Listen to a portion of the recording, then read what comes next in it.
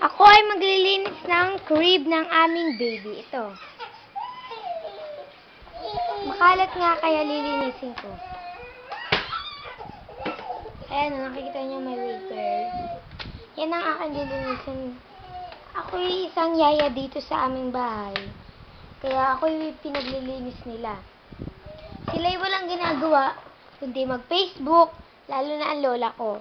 Ayan o. Tignan nyo. Tutok na tutok sa Facebook. Tumigil ka. Nakita nyo naman, di ba?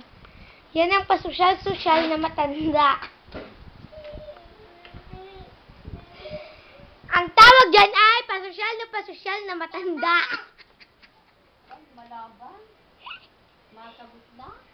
Pasosyal na bata. Ma, matutulog na to eh. Matutulog pag nagising lang kaya niyan. Hindi yan matutulog din. Ako matutulog ako. Matutulog din ko. Kaya na, bilisan mo nga tanong tang mawala na naman tong batita na to. E di ano yun mo?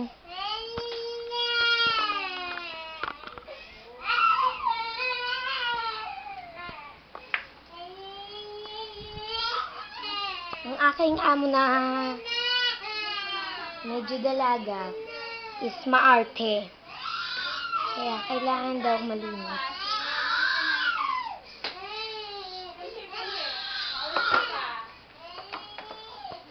Ito ang itsura ng aming walis.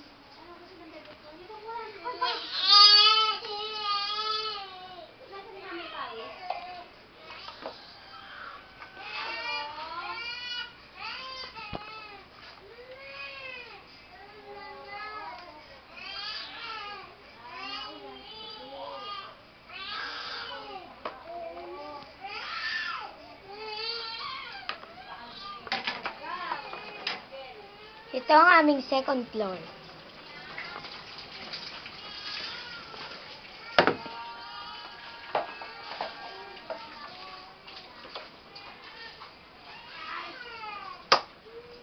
Saglit lang nga kasi nagkakahinga. Hirap, hirap na ako dito.